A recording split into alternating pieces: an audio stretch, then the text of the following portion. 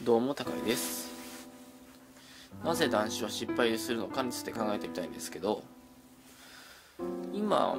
あなた自身が持っている iPhone やスマートフォンもしかしたらテレビかもしれないしパソコンかもしれないけどそういうメディアに触れる環境インターネットとかもそうなんだけどそれを全て捨て去るっていうことってあなたにできますか？つまり明日から一切インターネットに触れない。端末を持たないっていう行為ができるかどうかってことなんですけど。うんそれ無理だよ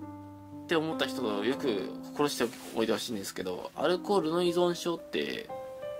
いきなりお酒を止めるっていう行為がすごいストレスになるわけですよね。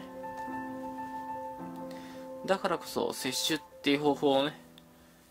この本では結構進めたりしてるんですけどアルコール依存症者と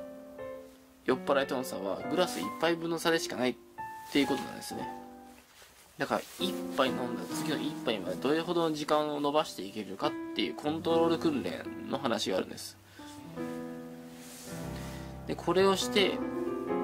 断酒療法と摂取療法っていうのを実践した人の中で完全な断酒に成功している人っていうのは同程度1年後存在している。まあだけど摂取療法っていう方で考えてみると確かに断酒っていう断酒療法と同程度の数字は出してるんだけど節度ある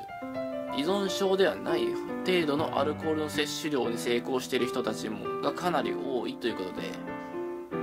摂取療法はかなり有効ではないのかっていうことをねこの本で言っているので一度読みましょう。チャンネル登録お願いします。この辺りにあるボタンを押してください。それで